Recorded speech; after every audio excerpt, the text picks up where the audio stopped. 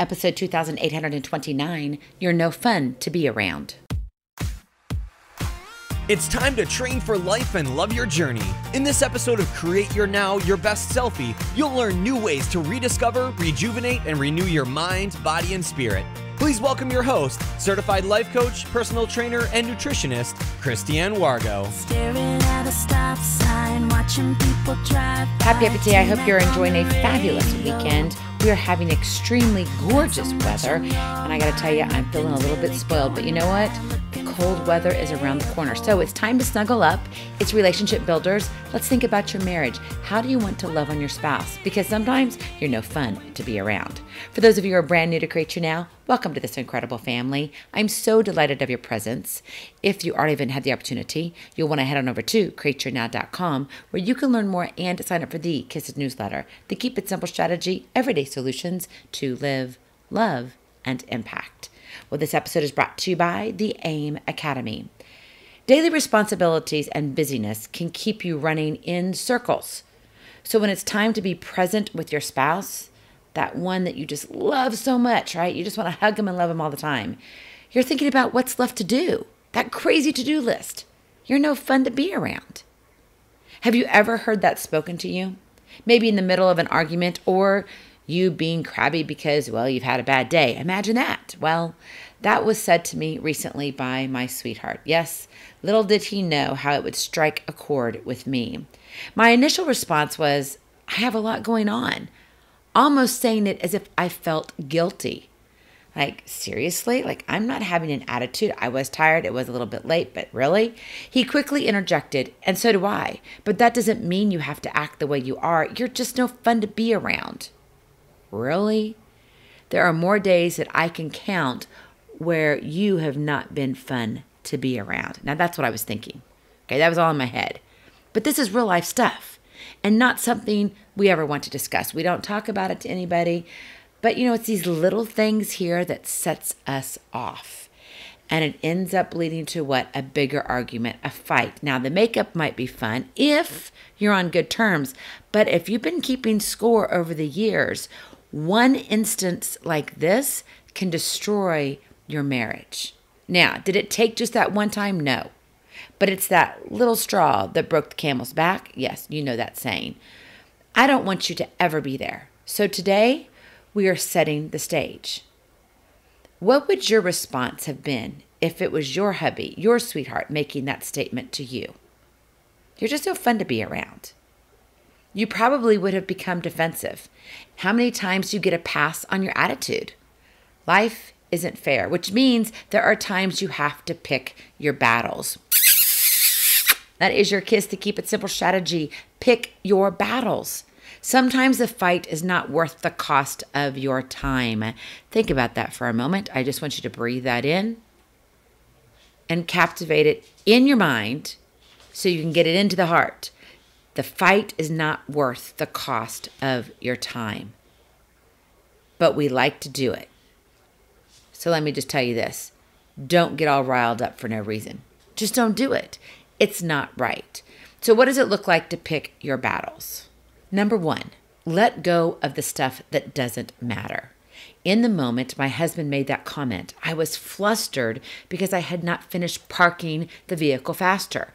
I have a big vehicle and I have to pull forward and I have to back into my spot in order to park in the garage. Now, I know that doesn't sound like anything major, but when you've got this huge honking SUV and you have to be lined up just right and the leaves are falling everywhere and I'm trying to angle it, usually I get it right on first time, all the time. But this time it was like three times. And I was like, this is ridiculous. And I was at a kind of cattywampus you know, settling into the position of where I was parking the vehicle, it made me mad. I was like, I'm going to need to get into that area and I'm going to have to move my vehicle to do it. So I had to repark and I reparked. I'm telling you, after three times, I was done. I was like, I'm, I'm done. So I was frustrated with myself. But of course, me being short because I was frustrated with me, of course, he takes it personally. So he got fussy with me. Plus, he wanted to eat. We'd gone out to get the food and he didn't want to eat a second later. Talk about hangry. Oh, yeah, he wanted it and he wanted his food now. I could have sat there and fought and fought and fought with him and just kind of picked at him and said, Well, I don't know why you're doing this for no reason. But guess what? It wasn't a battle worth fighting. Pick your battles. I didn't have to go on with that conversation, so I didn't. I was done. I ended it. I had a period. We were finished, got out of the car, done. He made another sentence comment after that, and we were done. We went on with our evening. No problem. But it's one of those things where if you go back into time, if you could do that, I'm sure you've had this situation. And guess what? You did pick that battle and you said, Yes, I'm going all in. The next thing you know, you're miserable for three days. Is that really what you want? Think about it. Let go of the stuff that doesn't matter. Number two, look for the good. Instead of listening to all the bickering, focus on the good. See what you can salvage in the moment. A lot of our time is spent on what if and not in the moment. And if you're constantly fast forwarding to the what if, like if he says this, I'm going to come back with this. Why don't you stay present in the moment so you can respond accordingly? Because a lot of times we can put the fire out because we see the good. But if you're sitting there only looking for the bad and you're trying to fast forward, oh, I know he's going to say this. This is what he always says. You know what? He may surprise you this time. Look for the good. Don't sit there and make assumptions. See what you can salvage in the moment. It's amazing. But remember, you're only going to find what you're looking for. And finally, number three, love unconditionally. I know you probably think this is silly, but it's not silly. You have to overlook the silliness of the moment. And what I mean by that is, yep, go back to my hangry husband. He was flustered with me. I should have just stopped the car and said, Get out. Get out, take the food, go inside, I'll repark the vehicle. But no, instead, he got fussy, and I was fussy not because of him, I was fussy because of me. I wanted to be done, and he didn't see it. I'm like, Are you not paying attention? Are you not seeing this in the moment? So, what did I do? Oh, I let go of it. I looked for the good. Oh, wait, we went out together. We had some time together. We had conversation. And then I was like, okay, it's time for me to love unconditionally. Now, did I actually think about those three points in a row? No, it was at like two and a half milliseconds that I got to where I wanted to be.